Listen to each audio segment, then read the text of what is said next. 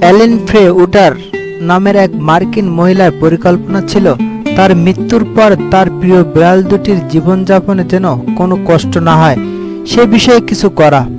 তাই তিনি তার জীবনব্যাপী সঞ্চিত তিন মিলিয়ন ডলারের সমুদায় অর্থ তার দুই বিড়ালের নামে উইল করে গেছেন। ফ্রে উটার এক সময় জাতিসংঘে কাজ করতেন। এই বিধবা মহিলা দু সালে অষ্টাশি বছর বয়সে মারা যান। তার স্বামী ছিলেন ব্রকল্যান্ড কলেজের অধ্যাপক এবং মারা গিয়েছিলেন সেই উনিশশো সালে। তাদের একমাত্র সন্তানও শিশুকালে মৃত্যুবরণ করেছিল। ফলে মহিলার দীর্ঘ একাকী জীবনে বিড়াল দুটি ছিল তার সন্তানের মতো। বিড়াল দুটির একটি নাম রেখেছিলেন ট্রয় এবং আরেকটি টাইগার। টাইগার বর্তমানে ফ্লোরিডায় ডাহালিয়া গ্রিজেল নামের এক মহিলার তত্ত্বাবধানে রয়েছেন।